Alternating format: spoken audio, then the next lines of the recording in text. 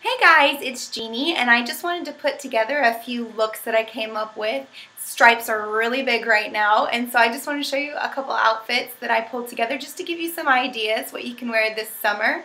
If you like these kinds of videos, different outfit ideas or even outfits of the day, go ahead and give me a thumbs up on this video and if you're new, please subscribe and stick around for even more great videos.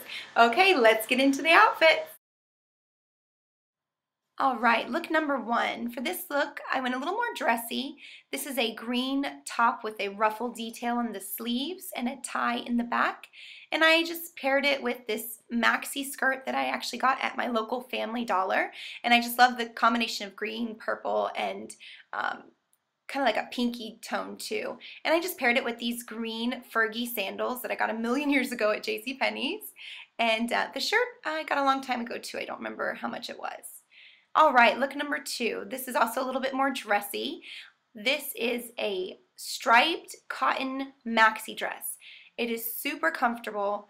It shows no wrinkling and it's just the softest most comfortable dress you will ever wear and it's very flattering with the side panel and the stripes going in a diagonal across the body. That way it's not widening the body, it's actually elongating it. And that side panel actually gives the illusion of a smaller waist. So it's very flattering and very comfortable.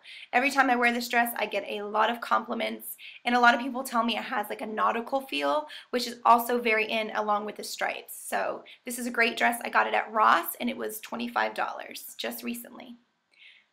Okay, look number three. This is a little more casual. This is just your typical summer outfit. I've got this black and white striped tank top with the little bow detailing in the back.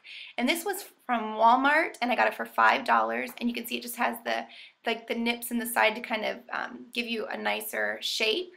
And I just paired it with a pair of black New York and Company shorts and a pair of studded sandals that I got at Ross for I think $12. So just a little bit more casual, something uh, nice and cool to wear.